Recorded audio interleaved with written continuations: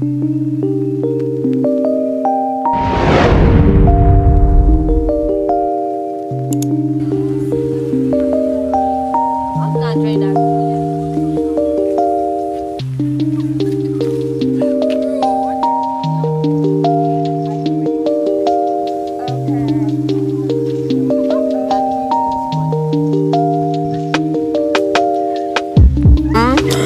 are outside right now and we're waiting to write our first our first JUPEB exam literature in English and I am with the scholars scholars like the people who know good news. although I'm not a scholar but yeah whatever.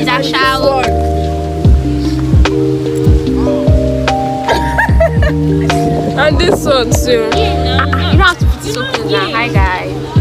Yeah and me her we're all going to pass 16 points.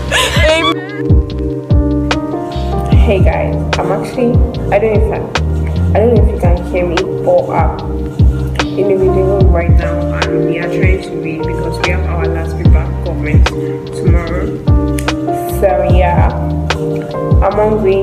I feel like sleeping. I'm thirsty. My room is too far for me to go and take water. My friend is sleeping here not me currently reading foreign policy and i am more scared once towards the exam i am actually excited for the exam to end.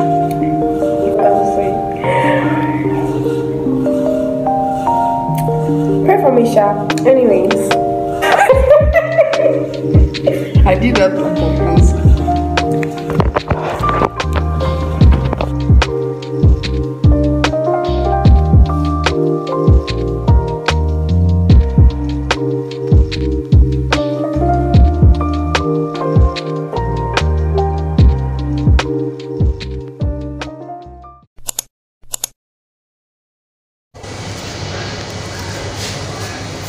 Coffee, coffee, that's my sign.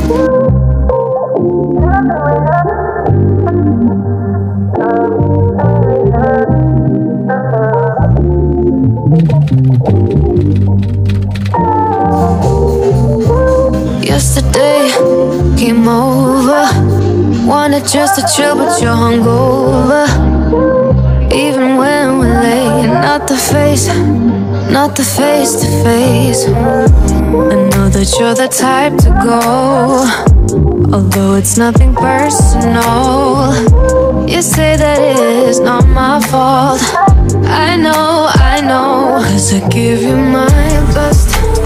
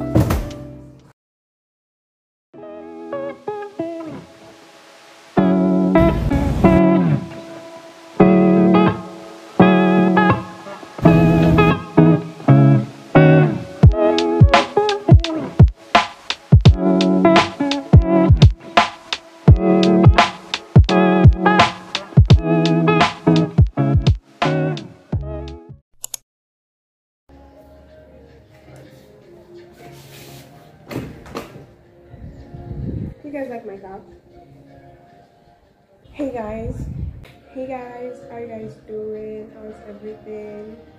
I'm at home right now actually and uh today's is today is Monday. I came home on Saturday. Yeah, I came home on Saturday so I've spent like two days at home. Yeah.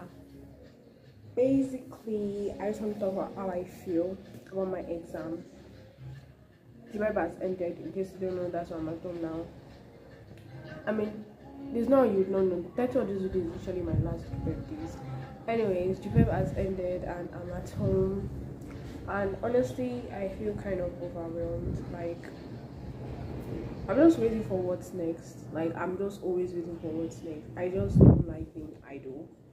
And it really bothers me because i do not know what's next. I just have to wait for like admission and like my JUPEB results.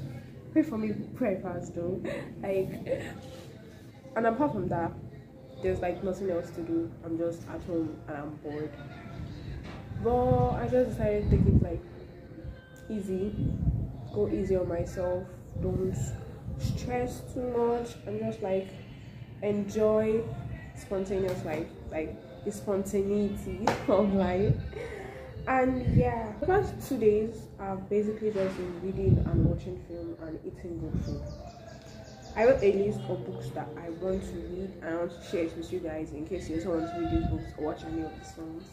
I'll put like a picture so you know what, like what the book cover looks like. So in case you're looking for it, you know what to find. Anyway, by Penelope Douglas, um, Things We Left Behind by Lucy Score, Cruel Prince by Holly Black, Girl Woman Other by Bernardine Evaristo. I actually have the book. I've, my dad bought it for me, and like the book is divided into like different characters, each of their different stories. So I didn't read it accordingly. I just like read the person whose name I liked the most, and I guess that's why I've not been able to finish it for like so long. So I want to start again and like finish it. But currently, I'm reading The Kiss Thief by L.J. Shane. I think that's how I say her name. I don't know if I said it wrong. Please correct me. And yeah, as for movies that I want to watch, Happiness. I'm currently watching is a Korean drama. Miraculous, Ladybug, and Cat Noir the movie. Book Smart, Personal Taste, just a lot of other movies. And yeah that's all i've been doing i want to have a mini glow up to be very honest i want to grow up i want to become a better version so when i resume school like scholar shake so much that kind of thing but yeah anyway this is the end of today's video. Subscribe. Yeah subscribe to my channel. Also don't see my hair? This is what my hair currently looks like. I want to take out my cornrows and wash my hair tomorrow. Then i don't know what style i'm going to make next or what i'm going to do my hair but yeah genchi